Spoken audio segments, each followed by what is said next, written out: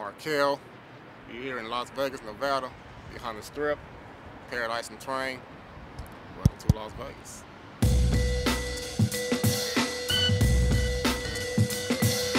When I uh, talk about Las Vegas or ask questions about Las Vegas, I always hear about Donna Street, the Gershons. Like these areas are known, at least to me. I'm not from here, never lived here, but I know these areas. What is it about these areas that that puts them on a map like that? Those, are real, like actual, real Las Vegas gangs. Besides the gangs that's out now, certain gangs is like was opposite of what they are now. Some of these gangs came from California, and they don't really know shit. Like you know, West Coast Bloods, like he said, it was Crips before. Now they Bloods. You got the Pirus out here. They Pirus, on don't know what, what, they really are out here. West Side Pirus, I guess. And you got you know I'm saying, the Jets, the Playboys, Bloods. They Bloods out here. You know what I'm saying? California, they Crips. Let's talk a little bit about you. Like uh, you came up here in, in Vegas, and you got affiliated with the streets at a young age, right? Like 12, like 12, 13, yeah. What was you claiming? 60s. The world famous Rolling Sixties, Yeah. Crips. Crips. Now they got those out here in Las Vegas. And what's that like? It's different. Real shit is different. Cause I, I mean, they every time I, I bring I bring them up, they feel like I'm disrespecting them or I'm bashing them. I'm just keeping it 100. I mean, it's all. I mean, they feel like I'm from LA because I, I mean, my, my hood is in LA. So they feel like uh, he, he bashing us. You know what I'm saying? Why you from, you know I'm saying, from Vegas. Why you bang Vegas six? I'm like, because I got my car from somebody from from LA. Straight up. And even he was like, don't bang shit out here, you know what I'm saying? Like, you be from Vegas, but uh, nigga, you my you my little homie. So many words. So that's what happened with that one. So, so what's the main difference? What is the difference between sort of the, the Las Vegas '60s and the LA '60s Crips? It's a lot difference. It's a lot difference. Mhm. A lot of a lot of politics out there in LA. A lot, lot of politics. It's a lot. Cause that, that, that hood out there is, is different compared to anybody else 60 gang in, in, in the state. But since it's the West Coast and this is Vegas and they only this you know the 60s out here, uh, it is what it is. You know, they different. It's, it's, it's a lot of a lot of LA hoods out here. I can say that. It's a lot, a gang of them. In certain areas, you can you feel that you got you got that feel. In certain Vegas areas, they like you know like it's a lot of California niggas around here. Do, do these Las Vegas dudes feel like there's too many LA guys coming around here and they feel a little funny about that? Uh, yeah, I mean you hear it a lot. I mean, certain hoods don't give a shit about it, but it is what it is. I was in foster home, so I ain't had nobody to look up to, real shit. And as growing up, I seen a lot of shit as a, under teenage, high, uh, fucking middle school started. I started seeing gangs around, and being around the shit, but not even from nowhere, but crazy being being me, but not being like I'm from I'm from somewhere, but I was in, in that era of that menace, you know, trying to fit in, I guess, trying to be cool and shit. So that's what that that that's what started with me. So being a foster kid probably had a big impact on your life. Oh yeah. Can you talk about like, did, you go from like home to home to home, or what was that like?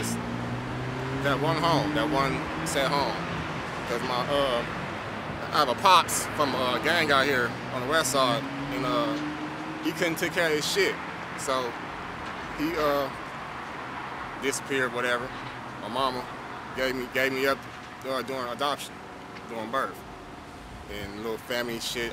I, guess I'm, I got it, it, it got some kind of connection with me with to stay around. Cause I was a, I got a lot of brothers all all over Las Vegas, so that uh, kept me kept me uh, basically uh, connected.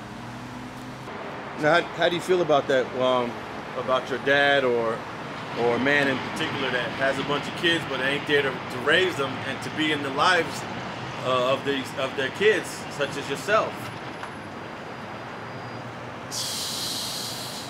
I mean, I didn't even give a shit because I really didn't care about about thinking of who my pops is as a child. Fo my foster parents raised me good. I ain't gonna lie. You know what I'm saying? Have some respect for yourself. Knowing I was an asshole, they want to listen, but I still had some smarts. Besides, want to be in the streets and shit, want to be some or or or get my name out for nothing, you know. Shit. Now, what about your mom? Did you ever you have you met her? Nah. Never. Nah. Do you know if she's still alive? I really don't know nothing. I really don't. I mean, you didn't talk to your pops about that when you met him. We didn't even talk. We, he, my cousin told me where he was. Uh, I met him. He didn't say much. He knew I was his son. That's about it.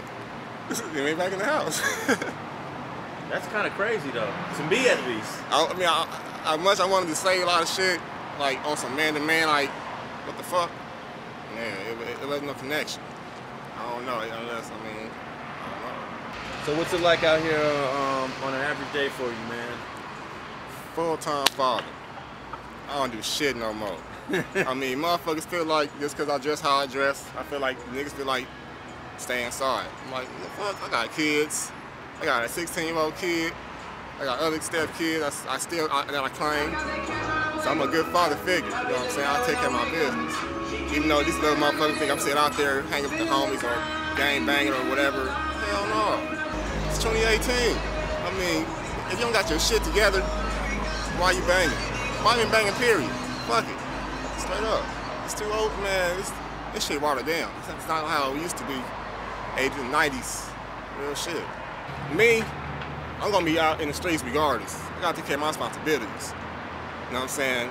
I got approached by some youngsters over some old bullshit.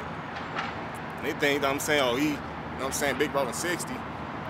He, you know what I'm saying, let's test this nigga out. You know what I'm saying? I got, got little informants following you, telling somebody else, hey, he up here, let's follow him.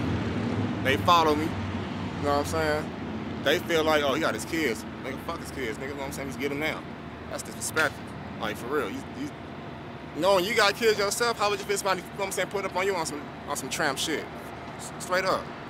So, daddy, I mean, they didn't do shit.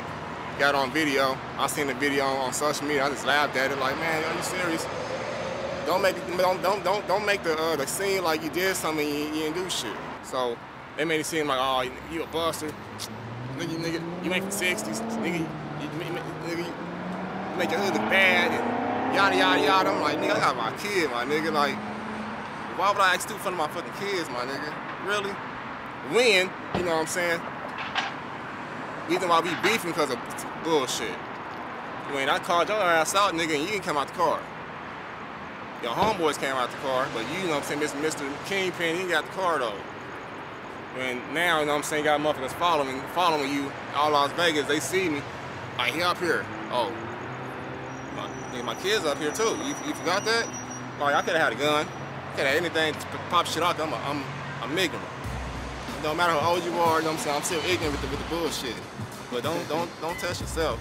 Thanks for watching StreetGangs.com. Please like and share the video you just watched and leave a comment below to tell us what you think. You can also watch two of our previous episodes to the right.